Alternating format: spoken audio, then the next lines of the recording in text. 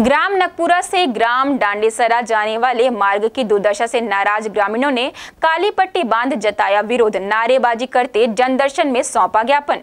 प्रधानमंत्री ग्रामीण सड़क योजना अंतर्गत निर्मित सड़क जो जिला दुर्ग ग्राम नगपुरा से ग्राम डाडेसरा मार्ग पर बने। सड़क की दुर्दशा से नाराज़ ग्रामीणों ने सोमवार को बड़ी संख्या में काली पट्टी बांधकर जमकर नारेबाजी की।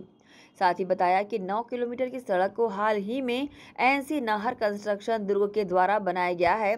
इस सड़क की गुणवत्ता के साथ सड़क में इस्तेमाल किए गए मटेरियल की पुनः शिकायत एवं दोषी ठेकेदार इंजीनियर और उन सबको संरक्षण देने वाले विभागीय अधिकारियों के खिलाफ कानूनी कार्रवाई की मांग की और प्रदर्शन किया।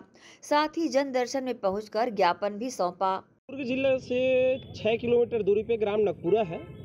नकपुरा से डाणेसरा 10 किलोमीटर की दूरी है जो प्रधानमंत्री ग्रामीण सड़क योजना के तहत पक्की सड़क का निर्माण किया जा रहा है जिसका ठेकेदार एनसी नहर कंस्ट्रक्शन मालवी चौक दुर्ग है।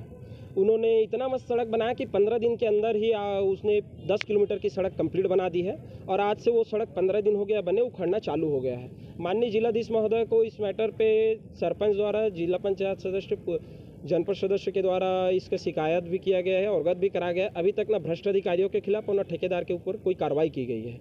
उसमें इतना गड्ढे हो गए हैं कि चार चक्का गाड़ी ऐसे समाया जा जा रहा है तो उसके ऊपर ठेकेदार के ऊपर कार्रवाई, रोड का पूरा जाँच गौन खनिज का जिसने इस्तेमाल किया है, उसका पूरा जाँच कंपोजिशन टेस्ट जो सड़क बनाते हैं, उसका एक टेस्ट होता है। उसका टेस्ट थर्ड पार्टी के द्वारा, न कि ठेकेदार के द्वारा और न ही उसमें शामिल अधिकारियों के द्वारा।